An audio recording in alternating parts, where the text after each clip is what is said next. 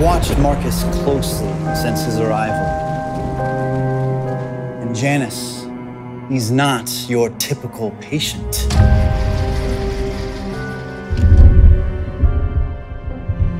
Marcus, you can be honest with me. It didn't hurt my mommy.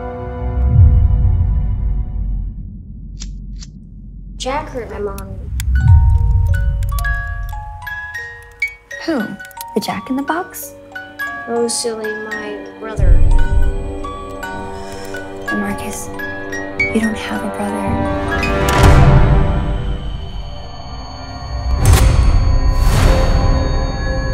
Look at his eyes, Janice! This isn't Marcus! If you want to save him, then help